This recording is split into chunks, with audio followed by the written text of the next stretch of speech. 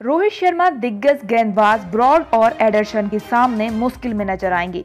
भारत और इंग्लैंड के बीच पाँच मैचों की टेस्ट सीरीज़ की शुरुआत नॉटिंगम टेस्ट के साथ 4 अगस्त से होगी। भारतीय टीम तकरीबन तीन हफ़्ते से ब्रेक के बाद एकजुट होकर डरहम में अभ्यास कर रही है। हाल ही में टीम ने काउंटी सिलेक्ट 11 के खिलाफ प्रैक्टिस मैच भी खेला है।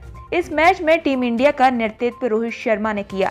क्योंकि विराट कोहली और आजिक रहाड़े को चोट की शिकायत थी। रोहित शर्मा आगामी सीरीज़ में टीम इंडिया के लिए अहम बल्लेबाज होने वाले हैं। लेकिन ऑस्ट्रेलिया के पूर्व दिग्गज स्पिनर ब्रेड हॉक का मानना है कि यदि इंग्लैंड के खिलाफ टेस्ट सीरीज़ में रोहित शर्मा रन बनाते हैं तो यह आश्चर्यजनक रहेगा।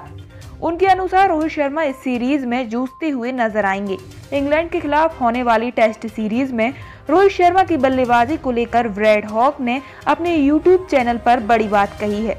उन्होंने कहा है कि रोहित शर्मा का रिकॉर्ड भारत में शानदार है, लेकिन भारत के बाहर विदेशों में उनका बल्लेबाजी रिकॉर्ड अच्छा नहीं है।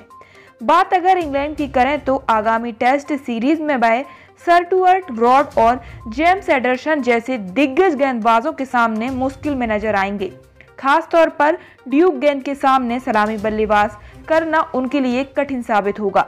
इंग्लैंड सीरीज़ में यदि रोहित शर्मा रन बनाएँगे तो मुझे बहुत आश्चर्य होगा।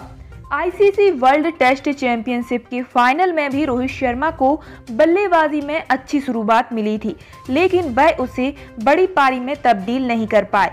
एक सलामी बल्लेबाज के रूप में रोहित शर्मा की परीक्षा इंग्लैंड सीरीज़ में ज़रूर होगी। हालाँकि अभ्यास मैच की एक पारी में वह ज़्यादा कमाल नहीं दिखा पाए। लेकिन टीम इंडिया को उनसे उम्मीद है कि वह सीरीज़ के हर एक मैच में टीम को शानदार शुरुआत देंगे और एक वरिष्ठ बल्लेबाज के रूप में अपना योगदान देते हुए नज़र आएँगे। रोहित शर्मा ने पिछले कुछ सालों में सलामी बल्लेबाज के रूप में अपना स्थान टेस्ट क्रिकेट में भी पक्का कर लिया है।